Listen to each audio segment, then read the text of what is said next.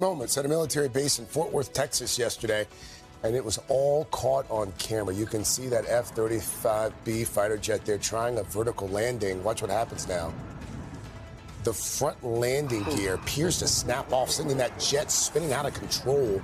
Its Oh, nose and wing scraping the tarmac there. Moments later, the pilot, as you can see there, Wow. successfully ejects from the aircraft. At this point, we do not know anything about the pilot's condition or what may have caused that accident.